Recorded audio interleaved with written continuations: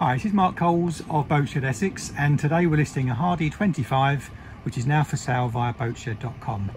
This is just a short video up on deck uh, and I'll take you down inside the cabin in a short moment uh, to show you around the boat and to point out some interesting features. So I'm standing on the port side in the aft corner and this is the view of the helm and as you can see the forward facing view. Before I move forward I'll just show you the, uh, the cockpit cover. It's in very nice condition. That's her with the uh, sides rolled up and the looking aft view with the sides rolled up and just for comparison there's the port side uh, cockpit cover window zipped up and sealed up. So that's quite a nice feature, adds extra accommodation and, and a bit of security from the elements.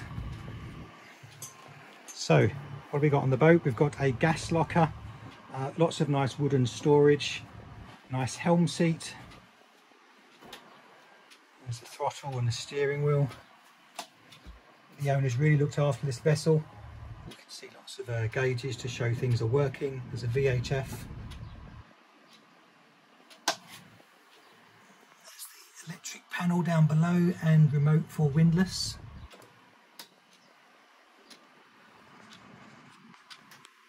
Up on the dashboard you've got the uh, depth clipper and a log as well. Auto trim tabs, sorry electronic trim tabs. There's the compass and a nice GPS fish finder as well. And before we go downstairs, I'll just spin around to show you the, the rear view.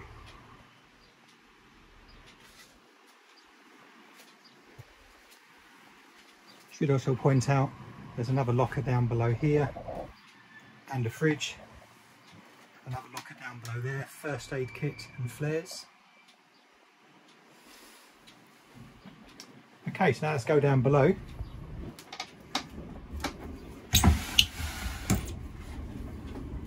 So what do we have here? Uh, on the port side, there is a nice lounging area, uh, bed, also sofa. The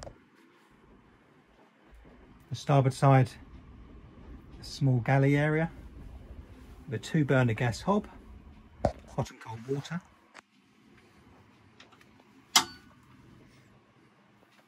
There is a head as well and a hot and cold shower.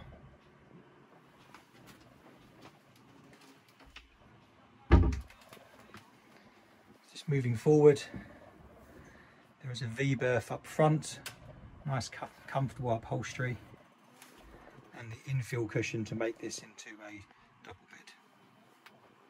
I should point out as well that there is shore power and there is 240 volt sockets on the boat. So finally, just looking aft. And I'll make my way back up to the cockpit area.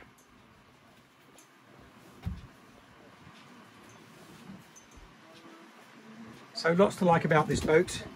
If you'd like more information or to arrange a viewing, please contact a member of the Boatshed team and we'll be happy to arrange this for you.